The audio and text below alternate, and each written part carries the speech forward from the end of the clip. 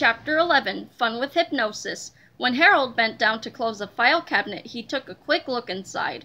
Whoa! he cried. Look at all the stuff in here! The file cabinet was filled with everything Mr. Krupp had taken away from the boys over the years. There were slingshots, whoopee cushions, skateboards, fake doggy doo-doo, you name it, it was in there. Look at this, cried George. A big stack of Captain Underpants comics. He's got every issue, said Harold. For hours, the two boys sat on the floor, laughing and reading their comics. Finally, George looked up at the clock. Yikes, he said. It's almost lunchtime. We better clean up this mess and get to class. The boys looked up at their principal, who had been standing behind them in a trance all morning. Gee, I almost forgot about Mr. Krupp, said Harold. What should we do with him?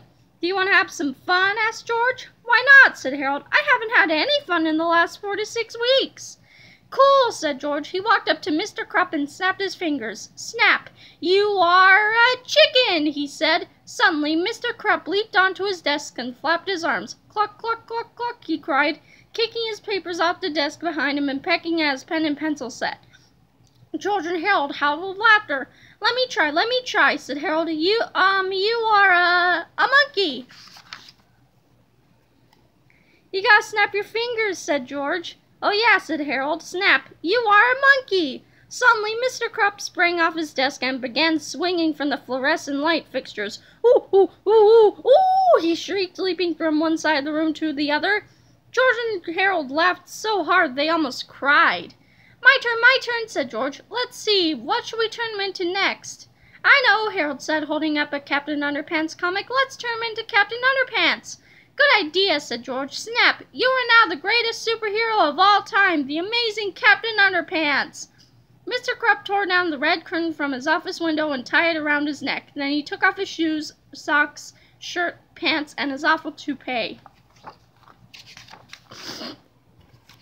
Tra-la-la, he sang. Mr. Krupp stood before them looking quite triumphant, with his cape blowing in the breeze of the open window.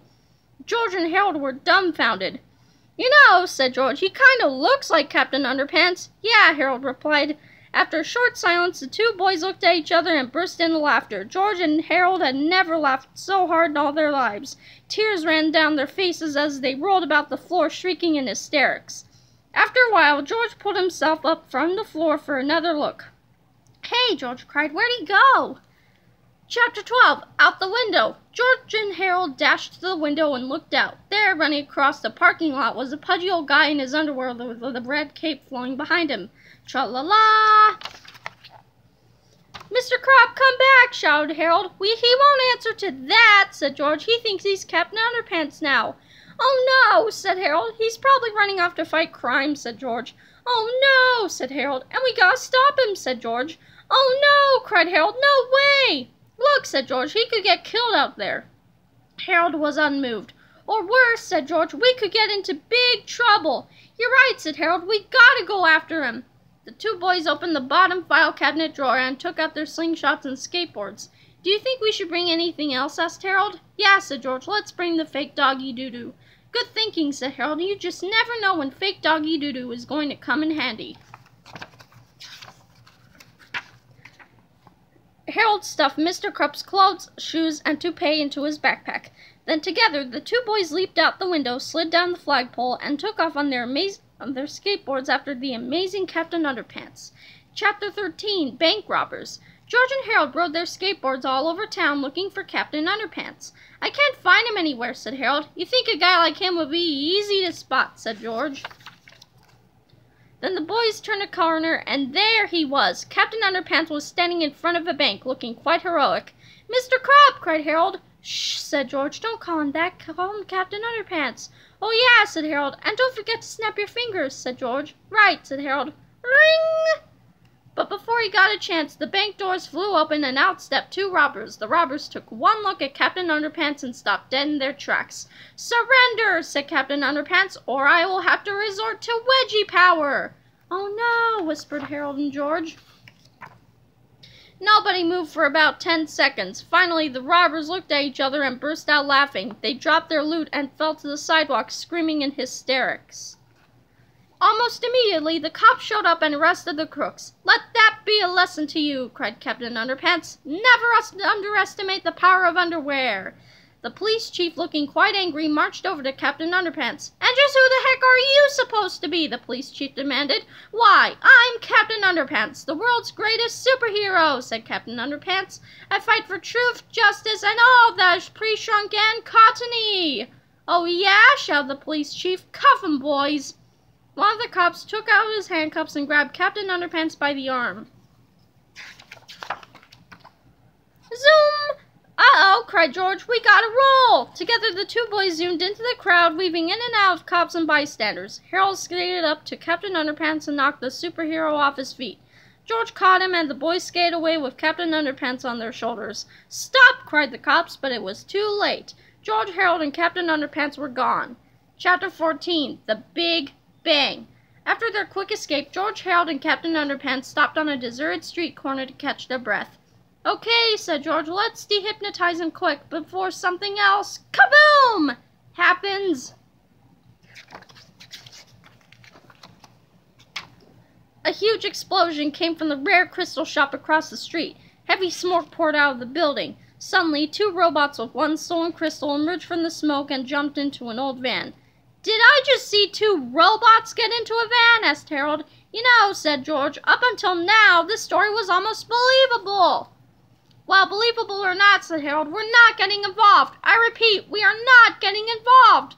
Just then, Captain Underpants leaped from the street corner and dashed in front of the van. Stop, in the name of underwear, he cried. Uh-oh, said George. I think we're involved.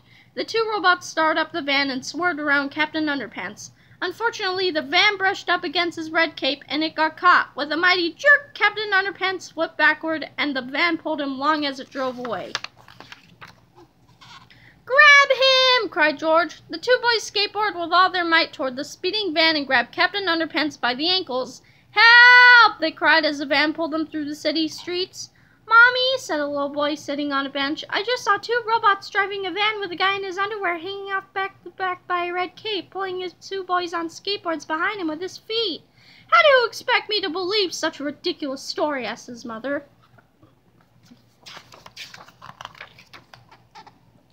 Finally, the van came to a screeching halt in front of an ab old abandoned warehouse. The sun stop made Captain Underpants flip over the roof of the van and crash through the front door of the building. Well, well, well, says a strange voice from inside the warehouse. It looks as if we have a visitor. Chapter 15 Dr. Diaper. George and Harold hid behind the van until the coast was clear. Then they sneaked up to the hole in the door and peeked inside. Captain Underpants was all tied up. The two robots were standing guard, and a strange little man wearing a diaper was laughing maniacally. I am the evil Dr. Diaper, the strange little man told Captain Underpants, and you will be the first to witness my takeover of the world. Dr. Diaper placed the stolen crystal into a large machine called the Lasermatic 2000. The machine started to light up and make loud noises. Heavy gears began shifting and spinning, and a laser beam from the crystal shot straight up through a hole in the roof.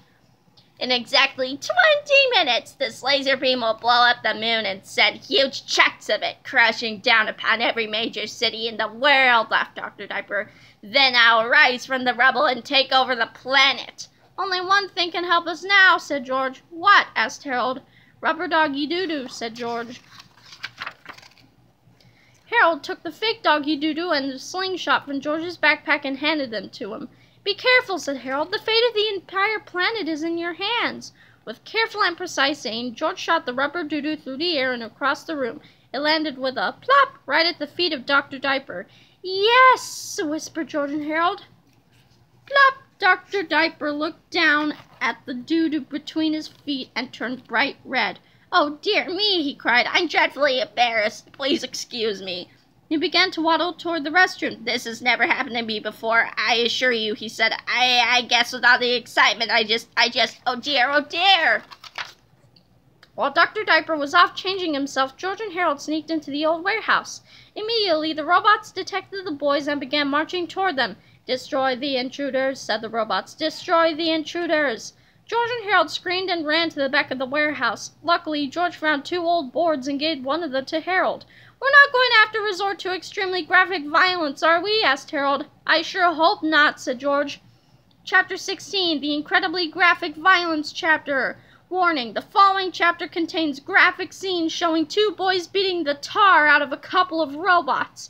If you have high blood pressure or if you faint at the sight of motor oil, we strongly urge you to take better care of yourself and stop being such a baby. As everybody knows, nothing enhances silly action sequences more than really cheesy animation. And so, for the first time in the history of great literature, we proudly bring you the latest in cheesy animation technology, the art of Fliporama. Robot Rampage.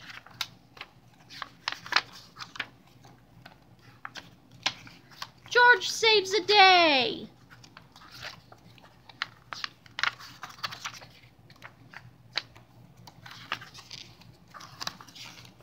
Harold returns the favor. Mix nuts and bolts.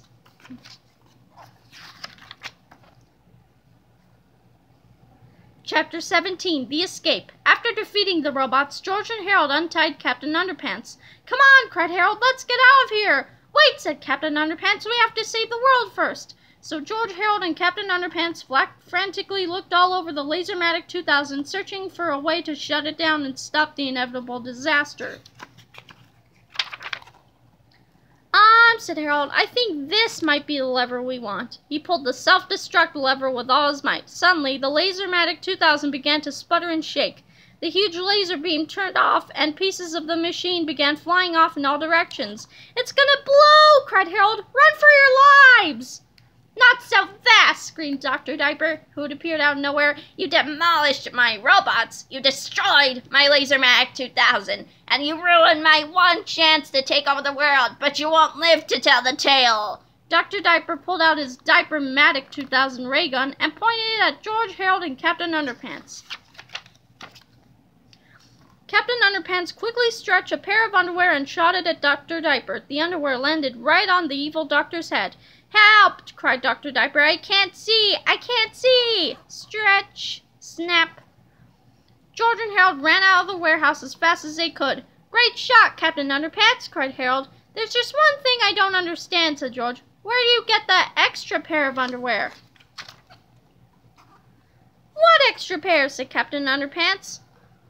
Never mind that, cried George. Let's just get out of here before that Lasermatic 2000 thing ex- Kaboom! Explodes.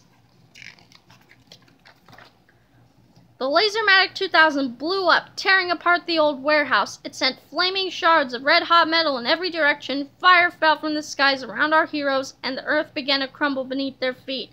Oh no! cried Harold. We're doomed! Boom!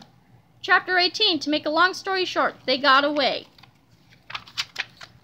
Chapter 19 Back to School. George Harold and Captain Underpants made a quick stop outside the police station. They tied Dr. Diaper to a lamp post and attached a note to him. There, said Captain Underpants, that ought to explain everything. Arrest me. Back in 15 minutes. Please don't commit any crimes till we return. Thank you. Then George and Harold led Captain Underpants back to Jerome Horwitz Elementary School. Why are we going here? asked Captain Underpants. Well, said George, you have to do some undercover work here. Yeah, said Harold, reaching into his backpack. Put these clothes on and make it snappy. Don't forget your hair, said George. Captain Underpants quickly got dressed behind some bushes. Well, how do I look? he asked. Pretty good, said George. Now try to look really mad. Captain Underpants made the nastiest face he could. You know, said Harold, he kind of looks like Mr. Krupp. Harold, whispered George, he is Mr. Krupp. Oh, yeah, said Harold. I almost forgot. Before long, they were all back inside Mr. Krupp's office. Okay, Captain Underpants, said George. You are now Mr. Krupp. Snap your fingers, whispered Harold. Oh, yeah, said George. Snap. You are now Mr. Krupp. Who's Mr. Krupp? asked Captain Underpants. Oh, no, cried Harold. It's not working. The boys tried again and again to dehypnotize Captain Underpants, but nothing seemed to work. Hmm, said Harold. Let me see that instruction manual for that ring. George checked his pants pockets. Um, said George, I think I lost it. You what? cried Harold. The two boys searched frantically through the office, but the 3D Hypno Ring instruction manual was nowhere to be found. Never mind, said George. I have an idea. He removed the flowers from a large vase in the corner. Then he poured out all the water over Captain Underpants' head. What'd you do that for? cried Harold. I saw him do this in a cartoon once, said George, so it's gotta work. After a few minutes, Mr. Krupp slowly came to. What's going on here? he demanded, and why am I all wet? George and Harold had never been so glad to see Cap Mr. Krupp in all their lives. I'm so happy I could cry, said Harold. Well, you're gonna cry when I give that videotape to the football team, said Mr. Krupp. I've had it with you two. Principal Krupp took the videotape out of his file cabinet. You boys are dead meat, he sneered. He stormed out of his office with the video and headed toward the gym. George and Harold smiled.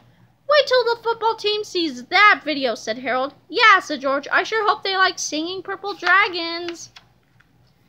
Hey, look, said George. I found the 3D Hypno Ring instruction manual. It was in my shirt pocket, not my pants pocket. Well, throw that thing away, said Harold. We'll never need it again. I sure hope not, said George. Warning, whatever you do, don't pour water on anybody's head when they are in a trance. This will cause the hypnotized person to slip back and forth from trance to reality whenever they hear the sound of fingers snapping. Chapter 20, The End? La la la la, we love Boomer la la. Purple Dragon Sing-Along Friends. Things at Jerome Horwitz Elementary School were never quite the same after that fateful day.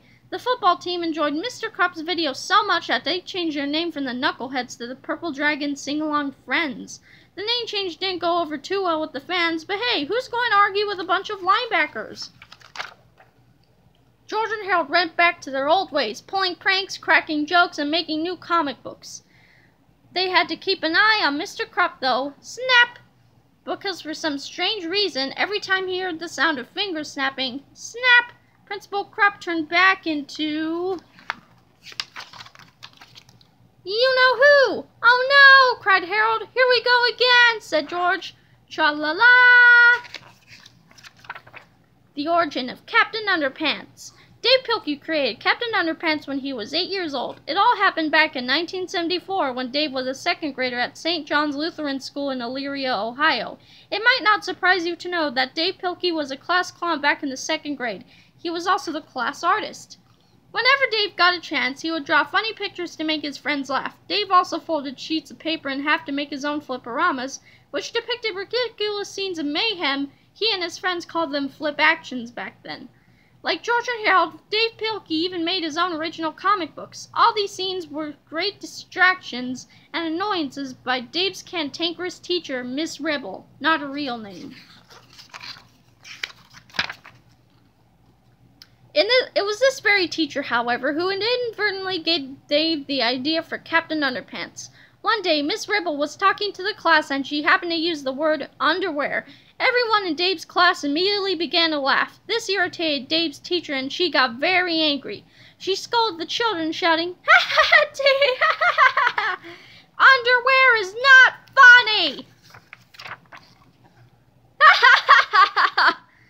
This only made the class laugh even harder. At that moment, Dav Pilkey had an epiphany. He realized that underwear was a very powerful thing. Just the mere mention of it could make everyone laugh. That day, Dav Pilkey drew his very first drawing of a caped hero named Captain Underpants.